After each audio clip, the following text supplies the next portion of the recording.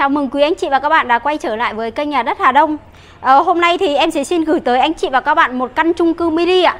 Căn này thì ờ, cho thuê hiệu suất thì rơi vào khoảng tầm 50 triệu, 45 đến 50 triệu một tháng. Đường trước nhà thì như anh chị và các bạn đã thấy đây Đường này thì rơi vào khoảng tầm gần 4 mét. Ô tô Morning thì có thể vào nhà được. Nhà này thì uh, gia chủ xây thì có thiết kế thang máy ạ. Gần ngay với cả hội trường nhà văn hóa, gần chợ. Trung tâm rất là thuận tiện Làm ở ngay khu Vạn Phúc Cầu Am ạ.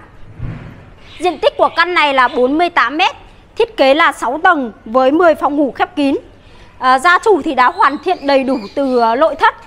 Đây em xin mời anh chị và các bạn theo em vào phía tầng 1 này. Cửa ra vào của à, căn này thì bên ngoài là cửa quấn Bên trong là cửa sắt ạ. Tầng 1 đây thì à, thiết kế là uh, nhà một phòng ngủ là ở cuối nhà. Còn bên ngoài đây là khu vực để xe có cầu thang máy. Mỗi phòng hiện tại thì gia chủ đang cho thuê là phòng nhỏ thì 4 triệu và phòng to là 5 triệu một tháng.